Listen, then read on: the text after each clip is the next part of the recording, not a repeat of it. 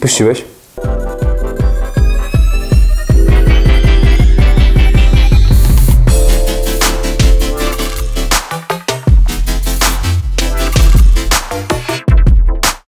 Cześć, tutaj Miłosz z kanału Neon Bros. Dzisiaj chcemy Wam pokazać, jak podłączyć transformator e, pod neon. Zarówno pod e, rury neonowe, obwód wysokiego napięcia, jak i pod zasilanie. E, Ok, mamy transformator w pudełku, zrobimy unboxing.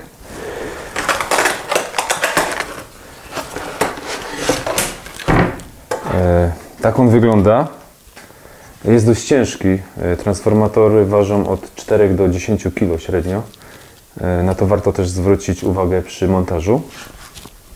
Zobaczmy, co, co my na pudełku, bo to jest, są główne informacje, które nas interesują. Oczywiście logo producenta, następnie są cyfry. 6 łamane przez 35, myślnik 45.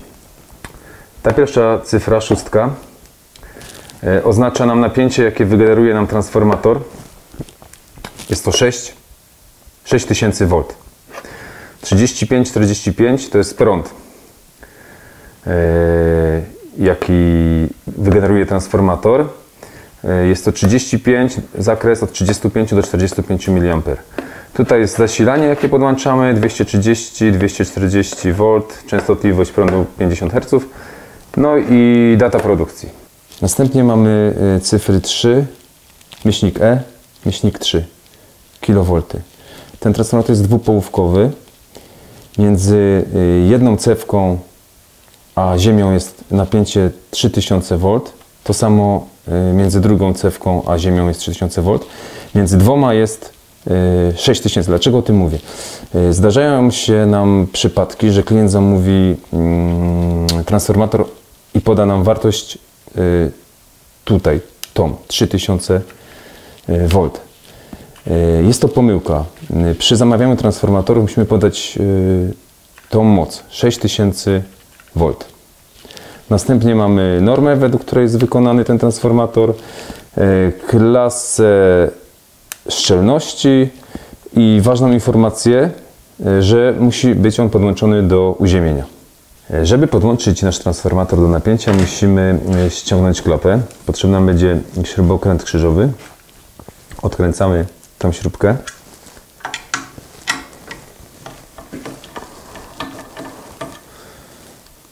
Podnosimy do góry. No i mamy tutaj wnętrze naszego transformatora.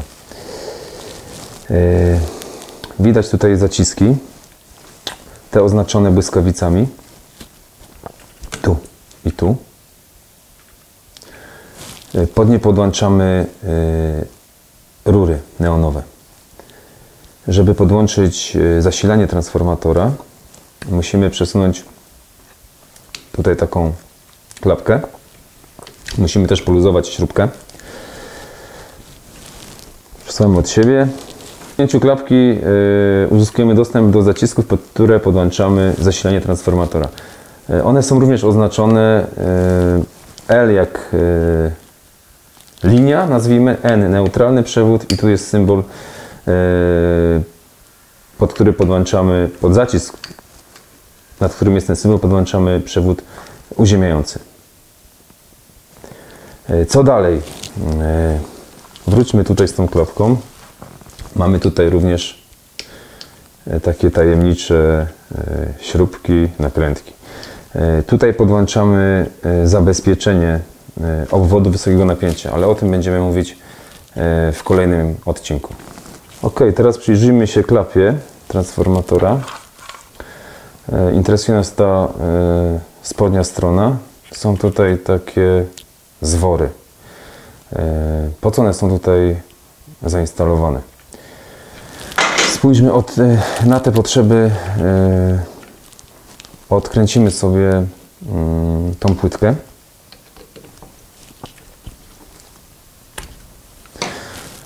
Są tutaj takie gniazda.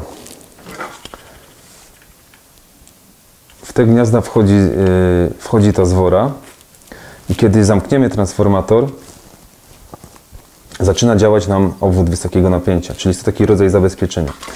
Jeżeli ja sobie yy, go zamknę, o, Tutaj musimy poprawić, śrubka nam przeszkadza. Oczywiście jak będziecie instalować, to nie zapomnijcie o, o tej klapce, ale to potem. Yy, pokazujemy jak, jak działa ta zwora. Yy, zamykamy transformator. Te zwory wchodzą nam tutaj w te gniazda i powodują, że prąd zaczyna płynąć. Czyli y, mamy otwarte, przerywamy obwód, y, możemy dokonać serwisu. Nawet jeżeli mamy y, zasilanie po stronie pierwotnej transformatora, czyli tutaj, przerwiemy, przerwiemy obwód i nie, będą zasila, nie będzie zasilana y, strona wtórna. Więc obwód wysokiego napięcia będzie rozłączony. Jest to, to bardzo użyteczna sprawa, bo możemy sobie y, wyłączać, y, jeżeli mamy kilka y, transformatorów w reklamie neonowej, możemy je wyłączać z osobna, podnosząc właśnie klapy. I wtedy możemy być pewni, że odłączyliśmy dany obwód i możemy go sprawdzić. Ok, no tak to działa. Zamykamy. Pamiętamy, żeby dokręcić. Transformator, jeżeli będzie prawidłowo podłączony, powinien za, y, zadziałać. Jeżeli y, potrzebujemy y, zbadać, czy, czy rury są dobre, czy wszystko jest z naszym obwodem ok, wystarczy, że podniesiemy klapę, mamy rozłączony obwód wysokiego napięcia. Ok, podłączamy teraz zasilanie do transformatora. E, Pamiętamy, żeby złożyć go tak jak wyglądał przed tutaj na, naszym, naszą ingerencją. E, Odsuwamy tą klapkę. E, No, teraz oprawimy sobie przewód. No, będziemy potrzebny nóż, szczypce. To właściwie tyle. Nacinamy izolację.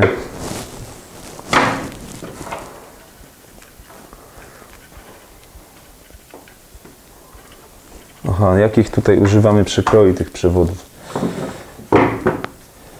E, To zależy. No jak obwód jest mały, to, to przekrój 1 mm nam wystarczy. Czy to jest linka, czy drut. E, Nie ma to znaczenia.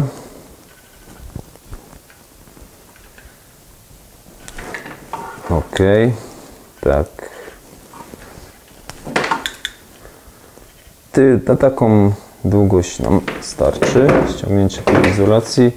Zgodnie z oznaczeniami y, pod zaciskami podłączamy.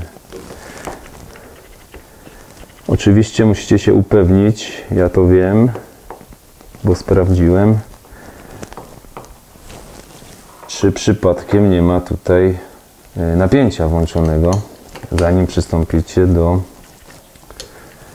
podłączania, w ogóle no, oprawiania tych przewodów.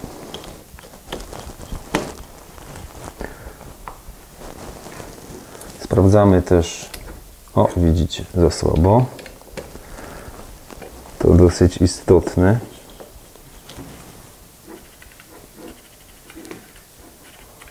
Poprawiamy.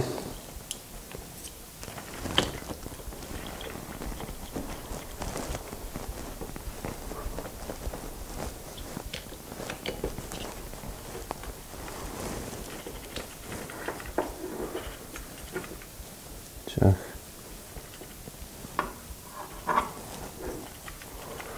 No, stosujcie przekrój tak dla bezpieczeństwa 1,5 mm przewodów, to nie będzie problemu. Ok, siedzi, wszystko ładnie. Jeszcze pamiętajcie, żeby tutaj są kanały, y, ułożyć ten przewód y, w tym kanale, no jak będzie wystawał gdzieś, możemy go przyciąć, klapa się nam nie zamknie. Y, na koniec pamiętajcie, żeby przesunąć tutaj tą klapkę. Y, Ona też uniemożliwia zamknięcie się y, tej klapy. Nie trafią te zwory w gniazda. Tak. Przykręcamy. Mamy podłączony transformator pod przewód zasilający. Teraz został nam obwód wysokiego napięcia, podpięcie transformatora pod rury neonowe. Robimy to specjalnym przewodem. Zobaczcie, jaką ma grubą izolację. Jest tutaj jedna żyła. E, zarówno transformatory, przewody, jak i inne rzeczy potrzebne do zamontowania neonów e, możecie nabyć e, na naszej e, stronie internetowej, e, który link będzie podany pod tym nagraniem. E, no, taka reklama, wiecie jak jest. Ok, zajmijmy się przewodem, przewodami wysokiego napięcia. E, Tutaj sobie również ściągamy izolację. No, może być króciutko, nie musi być bardzo długo, byleby nam e, starczyło, żeby podpiąć pod zacisk. Ok. Pamiętacie pod e, zaciski z błyskawicami. Tak samo jak w przypadku zasilania. Przykręcamy, sprawdzamy. Musi być umieszczony w kanale. Yy, ok. To samo z drugim zaciskiem. Jest sprawdzone. Jest ok. Teraz podłączać będziemy te przewody pod rury neonowe. Tutaj musimy e, ściągnąć większą część e, izolacji. Zobaczcie jak wygląda to. e, Zobaczcie jak to wygląda tutaj przy elektrodzie. Mamy tutaj przygotowany taki, taki obwód, żeby zademonstrować Wam jak to działa. Mamy ta, taką długość przewodów, nie wiem czy to widać dobrze. Mniej więcej na takiej samej długości usuniemy izolację z naszego przewodu. Tak. O, zróbmy to tak, jakbyśmy zrobili na montażu, żeby jakoś to wyglądało estetycznie. Dobra, mamy, mamy y, przewody z elektrody, one są dwa. Skręcajcie dwa, nie ma znaczenia. Nawet jak jeden skręcicie, będzie działało, ale skrę, skręcamy dwa z tym. Wystarczy skręcić, tutaj nie trzeba lutować. Skręcamy, pyk. To połączenie musimy zabezpieczyć nasadką, tak żeby tam nam się nie dostawała wilgoć i nie spowodowała jakichś uszkodzeń, chociaż wilgoć temu też by nie zaszkodziła. Ok, mamy to. To samo robimy na końcu naszego obwodu. Aha, jeszcze jedno. Rurę łączymy szeregowo. E, Za zasilanie dajemy na zasilanie. E, Przewody z, tran- z transformatora dajemy na początku i na końcu obwodu. Tam mieliśmy początek. Tutaj mamy koniec. Skręcamy. Nawet widzicie, te druciki pokryte są farbą. To też nie przeszkadza. Prąd sobie tutaj znajdzie drogę. Ok, dobra. Dobra, mamy podłączony transformator. Oczywiście, pamiętacie, podłączamy przewody na otwartej klapie. To będziecie wtedy bezpieczni. Yy, Patrzymy, czy, czy nam wszystko ładnie tutaj pasuje. Przewody są w swoich kanałach. Czy przesunęliśmy z tej pozycji yy, tą płytkę w dół? Możemy zakładać klapę. Musimy ją trochę docisnąć i dokręcamy, żeby nam nie spadło. Dobra. Teraz możemy możemy uruchomić go. Jeżeli było napięcie na przewodzie, to po zamknięciu klapy e, obwód powinien nam zaświecić. Zresztą zaraz Wam to pokażemy. Ja sobie tylko włączę, e, włączę transformator pod e, prąd. Pozdrawiamy od razu kopę człowieka naszego, który to dla Was złoży, żebyście nie umarli z nudów. Dobra, mamy podłączony no. podłączone pod gniazdko w tym momencie. Wy sobie podłączacie pod tam, kto Wam coś wyprowadzi. Bę- Może to być puszka, to wtedy sobie to połączycie. Ok, nie było napięcia, teraz zrobimy, że jest. Świeci. I teraz zademonstrujemy to, o czym mówiliśmy o tej zworze. Czyli mamy włączone. Odkręcamy. Podnosimy, pyk, zadziałało. Drugą stronę dociskamy, jest ok. Jeszcze kilka, jeszcze, jeszcze jedna rzecz, o której tutaj istotna. Zobaczcie tutaj w tym transformatorze, jak wygląda spód. Mamy tutaj listwę, na której mm, wieszamy transformator. Prawidłowa pozycja, w jakiej mm, ma być zamontowany, albo dajemy go tak, albo montujemy go w ten sposób pionowo na ścianie, tak że te kable nam wchodzą tutaj od spodu. Yy, O co tutaj chodzi? No, jakiś opad atmosferyczny, wilgoć nie podejdzie nam, jakbyśmy go zamontowali do góry nogami, mogłoby zalać nam tam te styki, yy, będą korodować, zwarcie, nie ma sensu. Jeszcze pamiętajcie, żeby dobrze zamontować ten transformator, on jest ciężki, wspominałem, on waży od 4 do, do 8 kg. Mm, Zróbcie to dobrze. Minimum kołki ósemki, jeżeli montujecie to do ściany. Yy, I w dwóch punktach mocujcie. Nie w jednym, zawsze mocujcie w dwóch. W dwóch. Macie tutaj yy, dwa miejsca, zróbcie to porządnie. Dbajcie o bezpieczeństwo swoje i, i również innych. Jakby były pytania, pytajcie. Postaramy się w miarę, e, w miarę możliwości czasu odpowiedzieć. Do transformatorów jeszcze wrócimy, bo nie wyczerpaliśmy tematu, ale to w następnych odcinkach. Subskrybujcie, łapki, dzwoneczki. Dzięki. Cześć.